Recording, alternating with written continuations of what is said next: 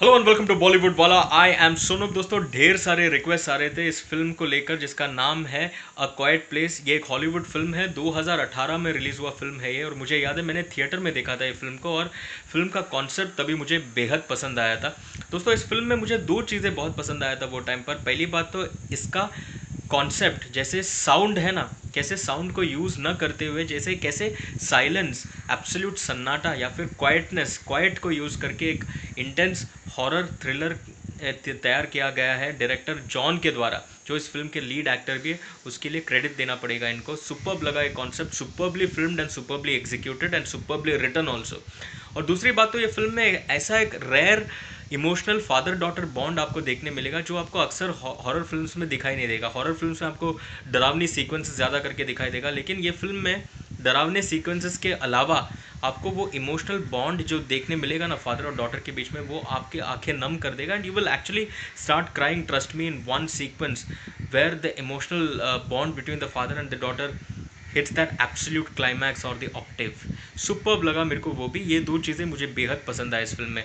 दोस्तों, एक फ़िल्म है अबाउट फैमिली के बारे में। अबाउट फैमिली में ली है, उनका वाइफ एवलिन है, उनके बच्चे हैं रीगन मार्कस और बो ये लोग ऐसे एक दुनिया में रह रहे हैं जहाँ पर आप अगर आप फ़िल्म देखोगे ना, आजकल लॉकडाउन परिस्थिति आपको याद आ जाएगा, क्योंकि सिर्फ़ अबाउट फैमिली है, एक पोस्ट अपोकैलिप्टिक दुनिया जहाँ पे और कोई यू नो ह्यूमन बींग्स बचे नहीं है, कोई और निवासी है नहीं, लेकिन वहाँ पर एलियन क्रीचर्स है जो देख नहीं सकते, जो ब्लाइंड है but they have this acute sense of hearing जहाँ कहीं पर भी एक छोटा सा ह्यूमन साउंड लोग सुनेगा ना उनको पता चलेगा कि वो ह्यूमन बींग है, कहाँ पर, क्या लोकेशन पर है और वहाँ पर पहुँच वो ह्यूमन बींग को खा जाएगा। तो क्या अबाउट फैमिली ये मॉन्स्टर्स से बचकर सेफली रह सकते हैं या फिर will they be able to kill the monsters और will the monsters kill them that is what the film is all about film में जैसे मैंने कहा साउंड का कोई इस्तेमाल नहीं किया गया दोस्तों। वो कॉन्सेप्ट एक यूनिक कॉन्सेप्ट है इन इट सेल्फ क्योंकि साउंड एक इंपॉर्टेंट और एसेंशियल इंग्रेडिएंट है एक हॉरर फ़िल्म का। जैसे साउंड या बीजीएम का इस्तेमाल करके जम्प स्केयर्स क्रिएट किया जाता है हॉरर फ़िल्म में। इसमें बिल्कुल कोई साउंड को यूज़ नहीं किया। कैस और साइलेंस ये जो फ़िल्म में आपको सुनाई देगा ना listen to the contradiction silence आपको सुनाई देगा. That silence will be loud and it will be terrifying वो आपको डराएगा.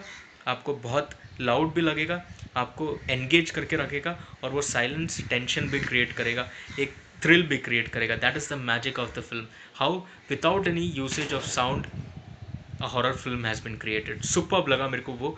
और दूसरा वो इमोशनल फादर डॉटर बॉन्ड के बारे में मैं ऑलरेडी बात कर चुका जो सीन के बारे में मैं ज़िक्र कर रहा हूँ, वो सीन में the father through sign language tells is daughter that I love you I always loved you and I will always keep loving you वो सीक्वेंस आपको बहुत इमोशनल कर देगा दोस्तों। इनफैक्ट इसमें दाद देना पड़ेगा कास्टिंग के लिए भी क्योंकि the girl who they have cast in the role of the elder daughter called Regan वो एक डेफ एक्टर है इन रियल लाइफ ऑल्सो तो वो कास्टिंग बहुत नेचुरल है, इसलिए एक्टिंग बहुत नेचुरल और एफर्टलेस लगता है। तो ग्रेट कास्टिंग एक्टिंग की जब बात करें तो Lee played by John who is also the director of the film और उनका जो रियल लाइफ वाइफ है एमली ब्लंट वो प्ले करती है Evelyn super acting by both of them और जो चाइल्ड एक्टर्स है ये फ़िल्म में सभी लोगों ने बेहद अच्छा काम किया। एमली के बारे में बात करते हुए उनका एक सीन याद आ गया, जो चाइल्ड बर्थ सीक्वेंस है उनका।